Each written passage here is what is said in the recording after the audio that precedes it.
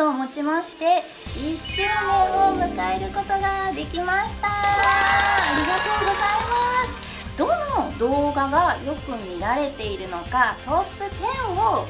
作ってみたのでご紹介していこうと思います。第1位はですねなんですよ。これちょっと私すごい意外だったんですよね。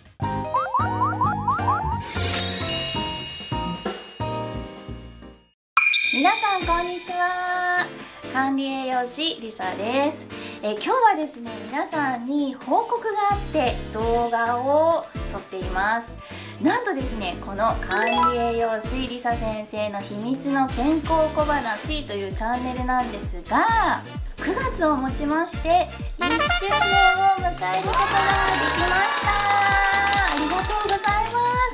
もうこれはですね本当にチャンネル登録をしてくださった皆様そして動画をいつも見てくださってる皆様そしていいねボタンをいつも押してくださってる皆様そしてそしてコメントを書いてくださっている方皆様のおかげで本当に1年を迎えることができました。ありがとうございます。ということでですね今回はですね、えーと、今まで1年間に私53本の動画を上げてきたんですけどどの動画がよく見られているのかトップ10を作ってみたのでご紹介していこうと思います。それではスタート。ではですねまず第10位です。第10位はですねこちら。自己紹介ですね。まあなんとも白衣の色もまだ白いというもう今ピンクなんですけどね。初々しい感じなんですがあそうですね。給食のおばちゃんってよく言われます。でも まあね今でもまだ言われるんですけど結構友達とかも動画を見てくれてああよく言われるって言われましたが、まあ、給食以外にもですねこうやってメタボの指導とか YouTube をやってたりするのが管理栄養士ですさてじゃあ次いきますね。第9位です。第9位はこちら。食繊維ですね。私この食物繊維の中でランキングが出てくるんですけどね。これね一回ねやってみたかったんですよ。そしてまさかの一番食物繊維が入ってる食べ物がね海苔というね真実ですね。しかも 100g だからあのちっちゃい海苔1パックを56袋食べないといけないということで最初ね食べようと思ったんですけどいやちょっと待ってよと思ってこれは食べたら絶対腸がパニックになると思ってやめました、まあ、結果ねやめてよかったと思います。さて次は第8位です。8位はこちら海藻です。これねもう最初に言ってる通り私その頃すごいもずくにはまっていていや絶対皆さんに海藻の良さを知ってほしいと思って作った動画になります。で結構そのメッセージとかにも私も海藻大好きですってよく食べてますっていうメッセージが来たりしてすごい嬉しかったです。じゃあ次に行きます、えー、次はですね第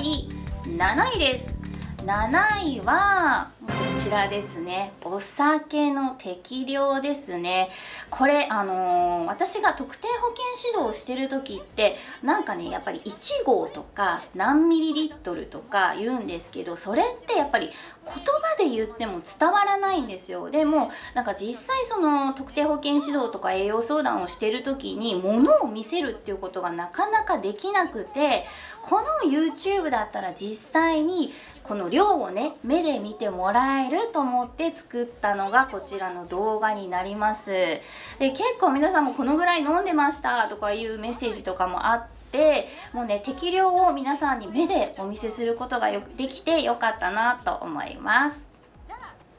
えさて次がこれ第6位と第5位なんですけどちょっとね似てるので一気にご紹介しますね。で第6位と第5位なんですが、プリン体クイズなんですよ。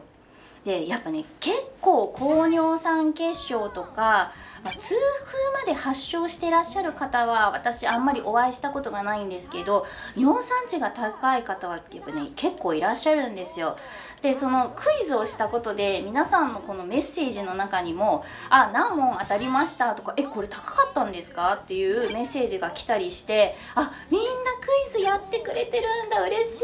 いと思いました。是非ですねこれもね皆さん見られてない方は是非見てチャレンジしてみてください。さて次は第4位です。第4位はこちら。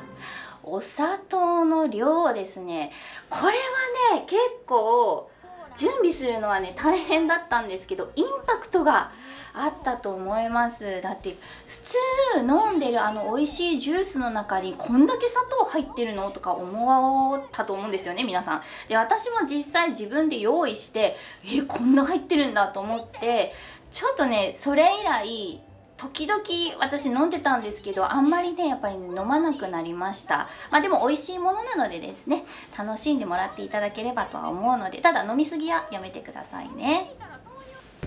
さてさて次がトップ3になります。さあトップ3は何なのかというとまず第3位。第3位はえっとですねあーこれですね。こちら。ナッツです。ナッツ最高のやつですね。でこれもですねやってよかったなって思ったのがメッセージになんかナッツ大好きですとかよく食べますとかあこれぐらい食べたらよかったんですねっていうメッセージが来たりしてすごい嬉しかったんですけど何せちょっと私コンビニの袋のナッツを一個一個数えるのに時間がかかってすごいなんかなんだろう数えてる時に一人で孤独感を感じてましたでもね皆さんにたくさん見てもらってるのでよかったなと思います。さて次が1位と2位ですがまず2位ですね。第2位はですねあこれですね。こちら痛風ですね。これねすごいクイズよりもこの最初の高尿酸血症痛風の説明が上の方に上がってるんですよね。なのでやっぱり私も栄養指導とかしてますけど尿酸値の高い方が多いんじゃないかなというふうに思いました。でせっかくこの動画最初にですねあの痛風高いだけじゃなくて本当に放置してると腎臓とかも悪くなったりしちゃうのでクイズと一緒にですね合わせて是非勉強していただければと思います。さて最後です。第1位ですよ。何だと思いますか？第1位はですねこちらなんですよ。貧血なんですよ。これちょっと私すごい意外だったんですよね。で本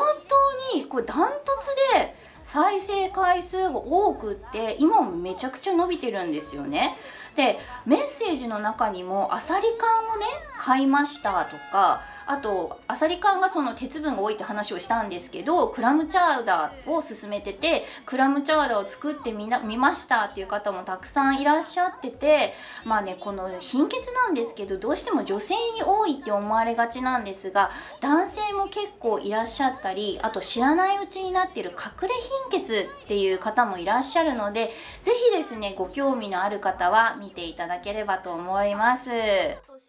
さあトップ10ご紹介してきましたが皆さん今までに見てない動画あったらですね是非見ていただきましてまあ見てない方チャンネル登録がまだの方はチャンネル登録とあといいねボタンとあとコメントよろしくお願いします。でえっと、1周年も迎えたこのチャンネルなんですけれども今ですね、えっと、基本としてはお食事のお話とかあとは病気とお食事の話ですね。というのをベースにやっていってるんですがもちろんそれも続けていきながらですね私が福岡市出身なので福岡の美味しい食べ物とかあとまあいろんなことにチャレンジしていくチャンネルになればと思っていますのでこれからも皆さんよろしくお願いします。ということで今日はですねトップ10ご紹介してきました。皆さんですねコメント欄あの開放してますので、えー、他に何がやってほしいとか何か別にその栄養以外の質問でもいいのでコメントがあったら是非書き込んでみてください。ということで今日も一日グッドラッ See you next time!